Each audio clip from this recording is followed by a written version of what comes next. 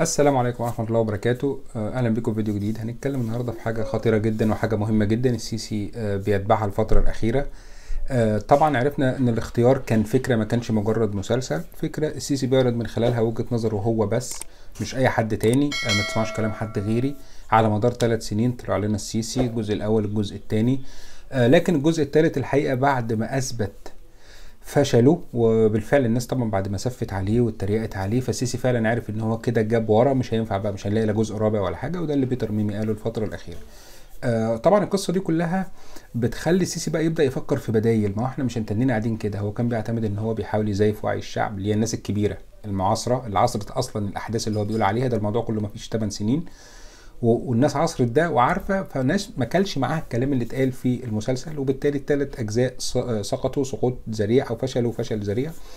وبالتالي سيسي لجأ لحيلة تانية بقى خلاص هيسيب الناس الكبيرة والناس اللي دماغها والناس اللي دماغها العالية قوي والناس اللي هم بقى كانوا معاصرين وفاهمين حتى اللي هو اللي مطبل له بس عارف إن اللي بيحصل ده كذب وتدليس. فيعمل إيه بقى؟ هيروح على العيال الصغيرة بقى هيعمل إيه مع العيال الصغيرة؟ دي بقى الكارثة اللي بتحصل. في مبرمج محترم مصري المفروض يعني انه محترم اسمه آه كريم صلاح. ده مبرمج أو مطور آه ألعاب ألعاب آه ألعاب فيديو جيمز على عامل عامل لعبة كده بتحاكي بابجي زي بابجي كده. فإحنا هيبقى عندنا بابجي مصرية. طبعا أنت أول ما تعرف ده إن في عندنا مبرمج مصري اخترع لعبة أو طور لعبة.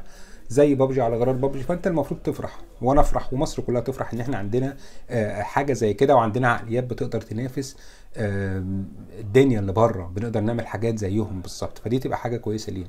لكن حضرتك لما تيجي تسأل بقى كريم بيه صلاح تقول له يا كريم بيه انت حضرتك اللعبة دي بقى احكي لنا كده يعني تفاصيل كده ادينا شوية ديتيلز كده عن تفاصيل اللعبة دي.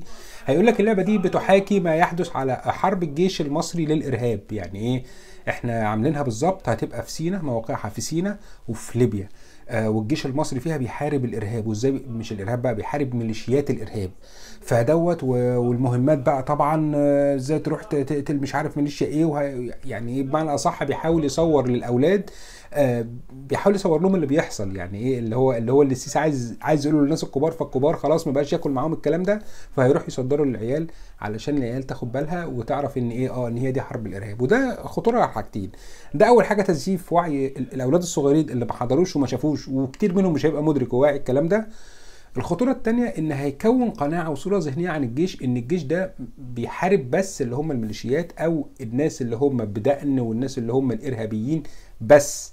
لكن ما بيحاربش جيوش نظامية. يعني الجيش أصلا المفروض الحرب بتبقى بين جيشين نظاميين. وشغل الميليشيات ده ما فيه قوات داخلية وشرطة يقدروا يعملوا الكلام ده كويس قوي يعني. لكن آه، أنت كده بتزرع آه، بت- بتطلع في الولد إن الجيش أصلا شغلته مش شغلته إن هو يحارب بقى ح- حروب نظامية مع دول وجيوش أخرى. لأ ده هو يحارب الإرهاب اللي هو الإرهاب الداخلي. فده اللي السيسي عايز يعمله ودي الكارثة الكبيرة اللي السيسي افتكاسها افتكاسة جديدة. فطبعا كريم صلاح ده يعتبر هو آه، هيبقى نقدر نقول عليه بيتر ميمي بتاع ال- ال video game أو بيتر ميمي ببجي بس هي دي كل الحكاية فيا ريت نخلي بالنا منها سلام.